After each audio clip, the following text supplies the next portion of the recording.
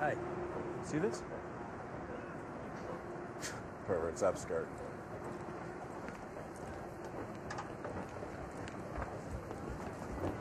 Something's wrong with your iPod. What? Yeah.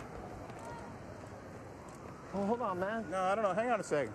I think it's got a. Well, I think they're in. Yeah. Yeah, see, that's not supposed to do that. It's not. It's. I just don't even. Did you want that? I'm sorry. You're sorry. Come yeah, on. Yeah, I'm. Damn. You know what? If you got a complaint, though, you can uh, you can call this number right here. Now you just explain to them what was on your iPod and what you were doing with it, and I'm sure they'll replace it for you. You have a good day.